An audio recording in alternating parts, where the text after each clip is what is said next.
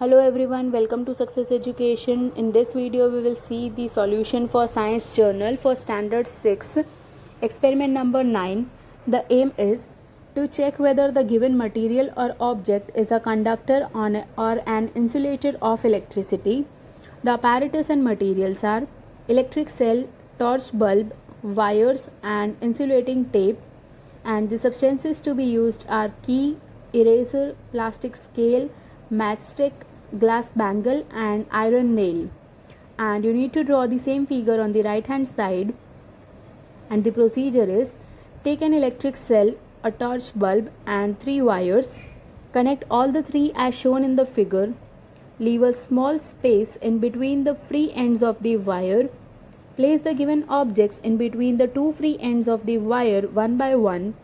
In each case, observe that the bulb glows or not. And the observation table, you can see that the uh, objects are already given and you need to fill it as the bulb glows or not and whether the object is an electric conductor or electric insulator. If the bulb glows it's an electric conductor and if the bulb do not glows it is an insulator. So you can see from the table and complete it.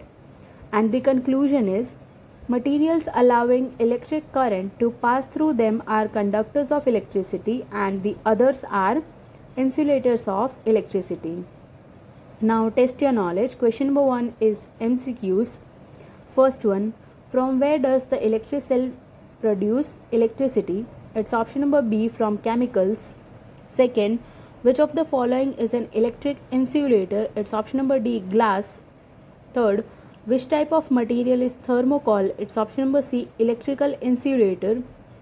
Now we'll continue with question number 2 that is answer the following questions in one word.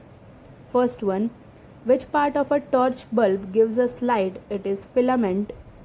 Second, from where does the torch bulb get energy? It is from electric cell.